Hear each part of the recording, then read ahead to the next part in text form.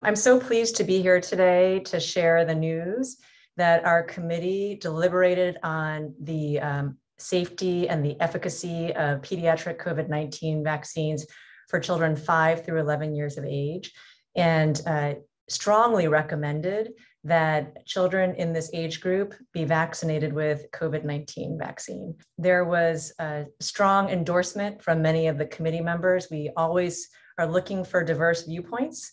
Uh, uh, and what we heard is um, enthusiasm to make sure that we could provide access to these vaccines to protect children from COVID 19 infection.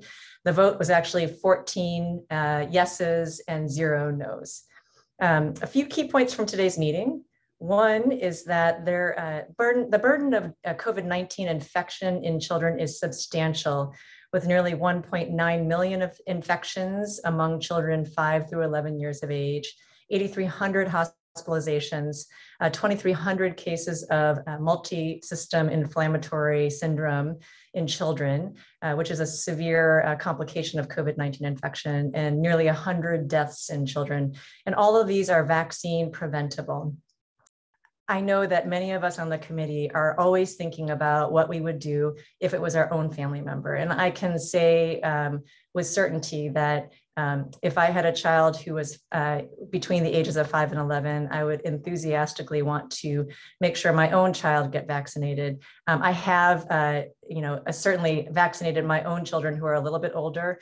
The risk of infection is local. And so it's important to work with our public health partners to make sure that we have a good understanding of community level transmission. And it's really important for us to continue to mitigate risks to protect ourselves and our loved ones. And so, what I would say is this gets us one step closer uh, to getting back to truly the new normal that I hope we can get to.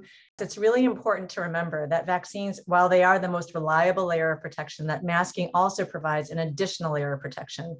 And masking, it, particularly in schools, is, an, is incredibly important because, first of all, not everyone is able to be protected. So it not only does it protect us, but it protects our um, classmates and our teachers who perhaps haven't had the opportunity to get vaccinated or have not been able to develop a robust immune response uh, because of underlying medical conditions.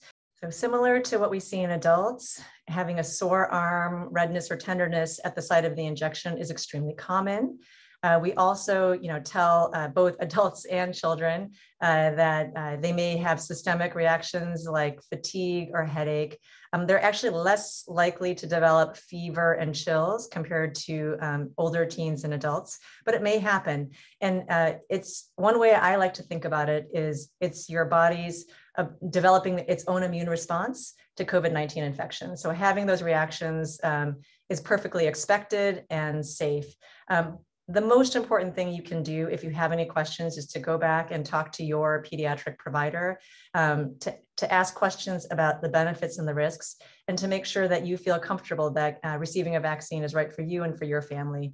Um, make sure that you go to credible sources of information for that and that would be your, um, your medical home.